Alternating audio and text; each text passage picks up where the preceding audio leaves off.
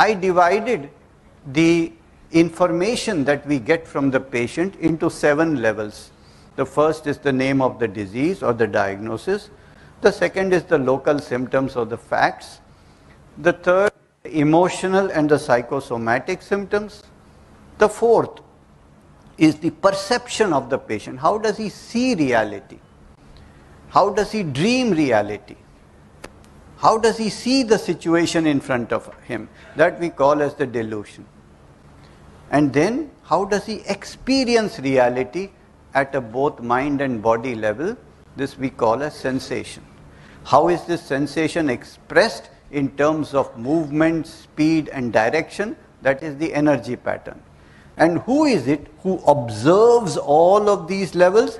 That is the witness or the seventh level.